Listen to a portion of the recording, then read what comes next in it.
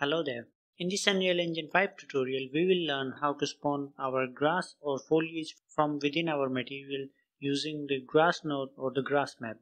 Before starting, I have prepared some things in advance like this landscape right here. It's similar to what we did in the 100 kilometer square video. So if you want to create it from scratch, I recommend going back to that video. And one other thing we did was scattering these mannequins all over our landscape. When working with bigger landscapes and foliage and trees and grass, we always want a sense of scale of what our character would look like from their perspective how it is scaled respective to all those things. So we scattered it using a procedural foliage spawner it's the same what we did in the previous procedural foliage spawner video. It simply scatters our mannequin all over the landscape. Next, the material that we are using for this. So it's a simple material. Here we have a layer blend directly going into the output.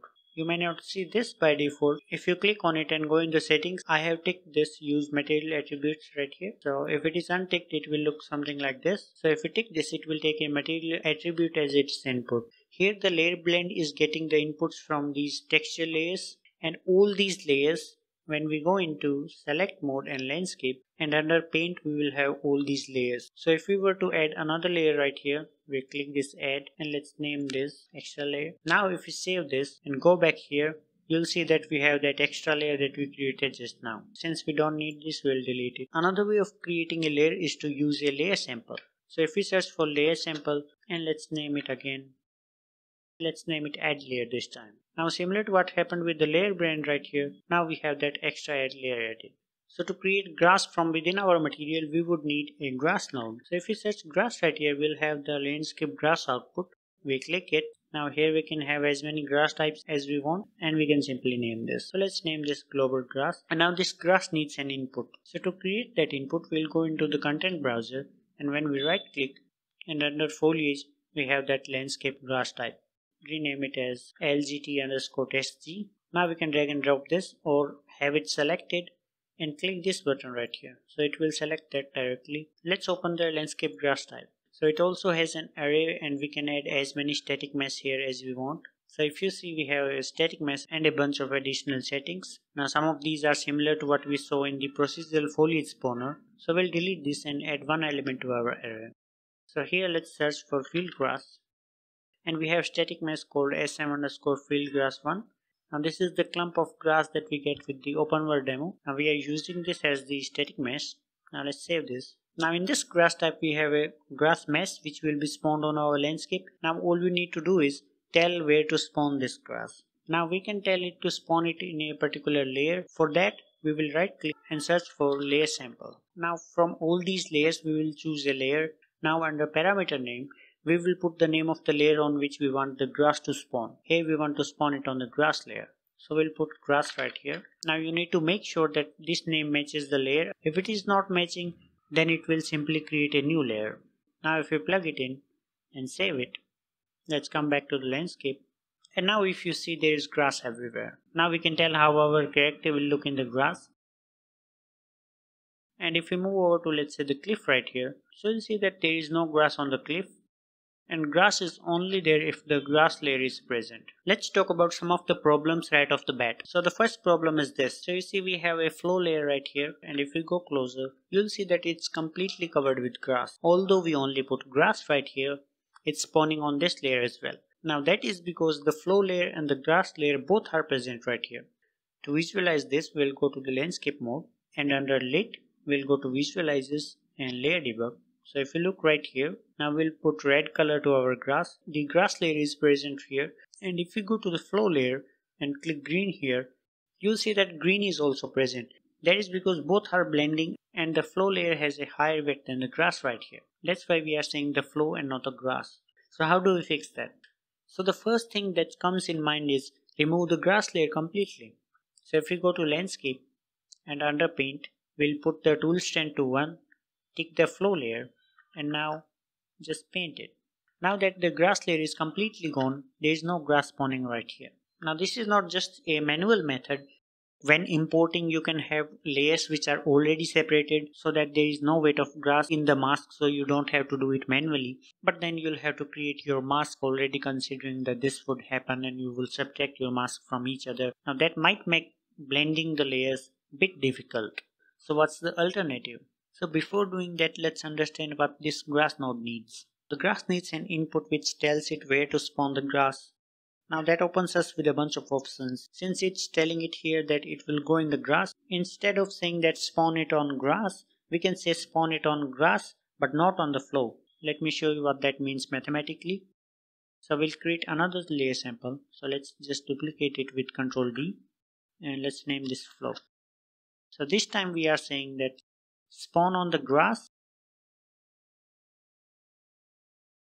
but not on the flow. So we are subtracting those two layers. So when we save this, now if we take a look at our landscape, spawn the grass in the grass layer but not on the flow area. Now let's move to another part of the landscape. So something like in the lake area. So you'll see the grass bleeding into the layer. Now it's again the same. This is where both the layers are blending. So both of the layer are present. That's why the grass is also spawning right here. And this also happens in the nature as well. And it also makes the blending much easier. And depending on what you are going for, you can also subtract that layer. Again, if you want finer control, so you'll see that this grass layer ends right here and the cliff starts right here. But the grass is also growing again on the cliff. Maybe you don't want to subtract the cliff layer. So what's actually happening in this area is ground and the cliff both are present. So with weight blend, at any point there is weight equal to 1 present of all the total layers. So here if you assume there is 0.8 of the grass and 0.2 of the cliff and that's why the grass is more prominent here and the grass texture is shown. In area like this, the cliff has a higher width, so let's say 0.7 and the grass is 0.3. That's why the cliff is shown, but the grass is still spawning, which means the grass layer is still present right here. And instead of subtracting the cliff layer, we can tell this grass that only spawn grass in areas where the grass layer has a weight higher than 0.6 or maybe 0.7 or something like that. And the next question is, how do we do that? we can do that right here after the sample grass so we'll make a scalar variable right here. We'll search for scalar parameter. Or if you hold s on your keyboard and left click then it will create it for you. So let's name it grass layer weight. And now we will multiply these two. So the shortcut for that is hold m and click. This is multiply. And now we are multiplying these two and put it in the subtract right here by default let's make it 1 here the layer sample is telling this grass output that spawn the grass wherever this layer is present. So by default it has a layer weight 1. Now if we multiply it with let's say 0.5 then it will be half of that layer's weight. We are making it a scalar variable so that we can easily access it from the material instance. Now if you open the material instance and search for that variable grass layer weight and let me show you what happens if we decrease it. So let's say layer weight of 0.6 maybe lower so maybe let's say 0.1. Now you'll see that most of that grass is gone. If we compare it here it is with 1 and here is 0.1 maybe it will be easier if we look it from here. So here 1 and 0.1 makes a big big difference. But now it's reaching in areas like this. So the grass has a much less density right here. So with the scalar value we can fine tune it.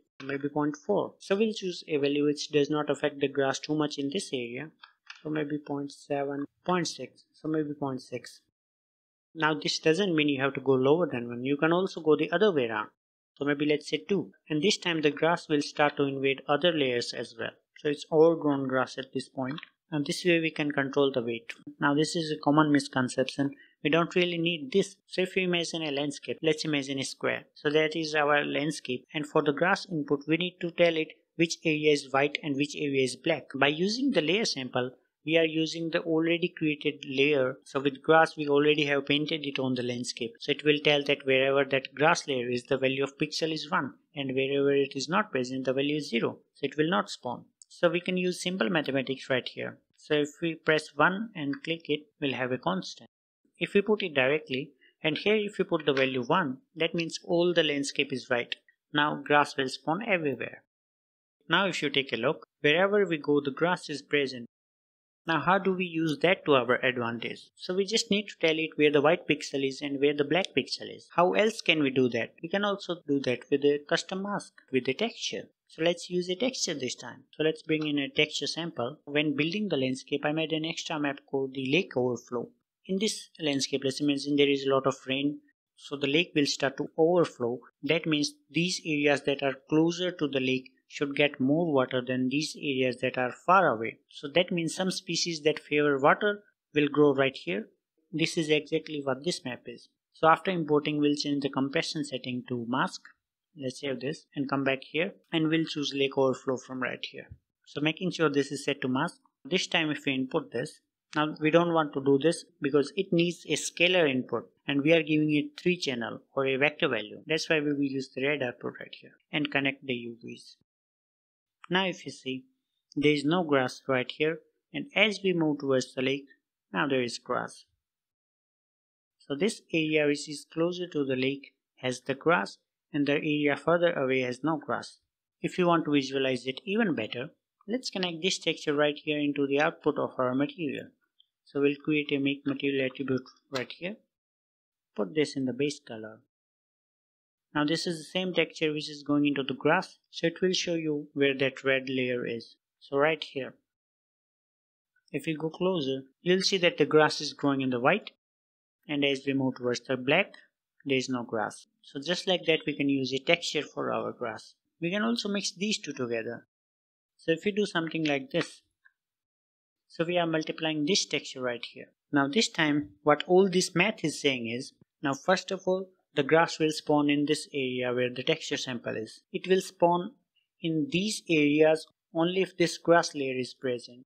Let's change this flow to the lake. So we are subtracting the lake so that this time there will be no grass in the lake layer. So if you look at this this is where the river is. Even though that white texture is present here the lake layer is subtracted that means no grass present here and here the grass layer is present and the mask is present so both are present that's why the grass is here and similar to that there is no grass in the black area now to save performance we can use splat maps here so the splat map can have four different masks within one texture. So when we load the splat map, we can have one output from the red going into this and we can add maybe more of these and connect the green one here, blue one here, and maybe the alpha mask right here. Now that we know it needs a scalar input, we can do a bunch of math before it. So it opens us with limitless possibilities.